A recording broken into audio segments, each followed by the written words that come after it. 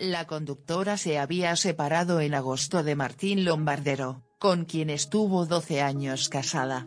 El galán estaba separado de la madre de sus dos hijas desde 2011 la primicia del romance la dio el periodista Angel de Brito, Verónica Barano y Gustavo Bermúdez están saliendo.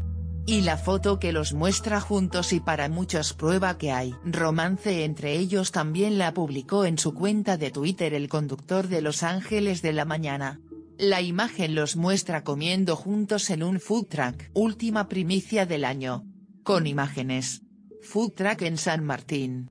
El romance de Gustavo Bermúdez y Vero Barano, escribió bajo la imagen. La modelo y conductora de 54 años tiene tres hijos del empresario Fernando Elstein, Nicolás, 24, Arturo, 22, y María, 20. En julio de 2020 se había separado de su segundo marido, el médico cardiólogo Martín Lombardero con quien se había casado en 2008. El galán y actor que protagonizara novelas como Nano y El Sheik, entre otras, estuvo casado con Andrea González, maestra de profesión, entre 1989 y 2011.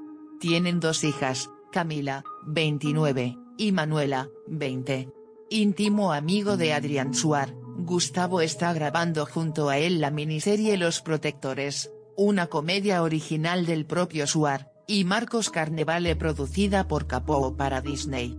Además actuarán Laurita Fernández, que hará pareja del personaje de Suar, y el colombiano Andrés Parra, protagonista de la serie de Netflix El Patrón del Mal.